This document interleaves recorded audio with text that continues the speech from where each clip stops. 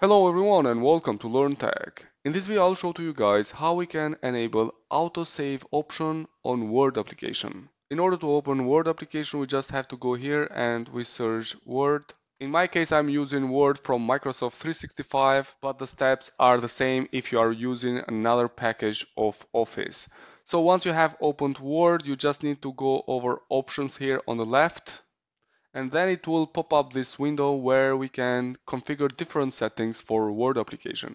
We are interested in this case for the option here save, so we click over it and now I can customize how the documents are saved. So the first option is autosave OneDrive and SharePoint online files by default on Word. By clicking over this option, you are enabling autosave on OneDrive or SharePoint in case that you have OneDrive configured in your computer. The second option, which is important in our case, is save auto recover information every five minutes.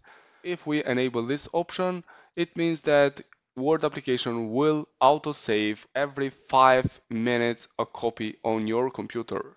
You can change the time, let's say you can make this 10 minutes or 2 minutes, whatever time that you want, and automatically Word will make a save of your document. And also it's really important to click over this option here which says keep the last auto-recovered version if I close without saving. And then I have to specify where I want to save these files.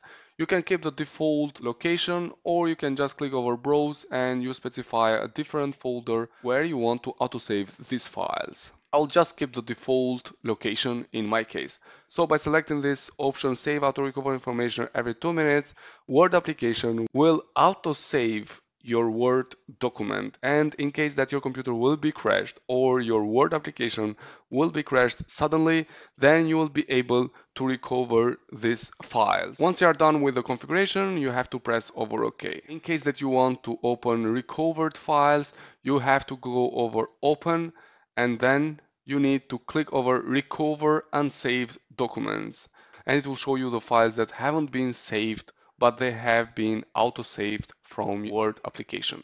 So basically that's all that you have to do in order to enable autosave on your Word application. Thanks a lot for watching and please do not forget to subscribe. Thank you.